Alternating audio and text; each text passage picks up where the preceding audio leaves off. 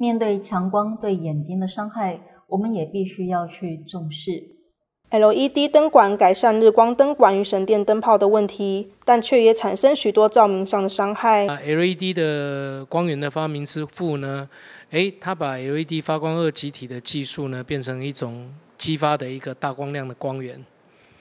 啊，所以在这个产业界，呃，跟这个市场上面的话，就好像如获至宝，看到了一个东西，诶。它有很多的优点，可以去取代所谓的日光灯管，还有这个省电灯泡。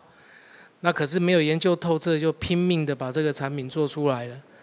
那结果我们今天来做这个分享，里面告诉大家的是 LED 的所有的真相。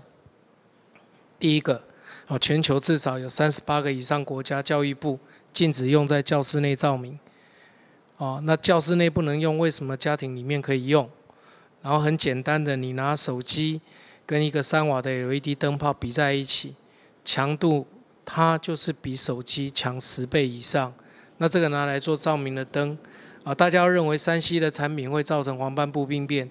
那请问，当这个十倍以上的光亮的东西，怎么样不会造成伤害？